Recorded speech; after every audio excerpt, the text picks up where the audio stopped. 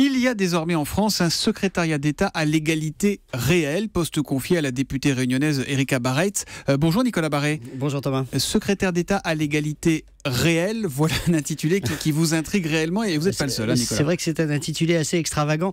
La France est un pays paradoxal parce qu'on est obsédé par l'égalité et en même temps on est accroché à nos rentes, à, nos statuts. Regardez d'ailleurs les taxis. On a une passion pour ce, ce principe d'égalité, mais chacun veut conserver ses petits privilèges, ses combines, etc.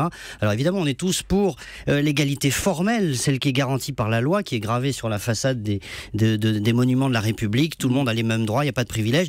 Mais s'agissant de l'égalité des conditions, euh, comme disait Tocqueville, eh bien, autrement dit de l'égalité réelle euh, dans la vraie vie, c'est une autre histoire. Mais d'où vient ce terme d'égalité réelle Alors ça, vient de, la philosophie des Lumières. Condorcet distinguait d'ailleurs les lois qui prononcent l'égalité des droits et l'instruction publique qui seule permet d'atteindre l'égalité réelle et donc elle devait passer cette égalité réelle par l'école, par l'instruction. Karl Marx faisait d'ailleurs le même distinguo entre égalité formelle et réelle. Alors ce secrétariat d'État a effectivement un intitulé un petit peu euh, marxiste si on veut, mais dans la période récente c'est Dominique Strauss-Kahn euh, au début des années 2000 qui a popularisé cette idée d'égalité réelle dans une, note de la Fondation Jean Jaurès.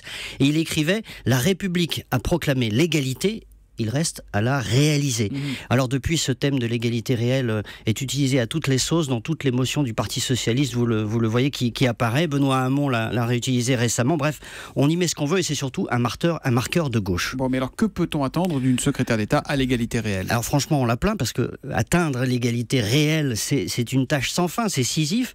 Euh, dans la lignée de Condorcet, on pourrait se dire que le plus important, c'est l'égalité des chances à l'école, mais ça, ça relève du ministre de, de la ministre de l'Éducation nationale. Alors la secrétaire d'État va probablement se concentrer sur un autre sujet. Euh, l'égalité réelle, c'est devenu une, revendication des Outre-mer par rapport à la métropole. Et c'est d'ailleurs pas pour rien que François Hollande a choisi une élue de la Réunion euh, pour, euh, pour faire en sorte que l'égalité des chances entre les natifs de l'Outre-mer et de la métropole soit, soit réalisée. Les mauvaises langues pourront dire aussi qu'on attendra de la secrétaire d'État qu'elle fasse quelques gestes forts, par exemple qu'elle renonce à une voiture avec gyrophare, qu'elle prenne le métro pour donner l'exemple de cette fameuse égalité réelle.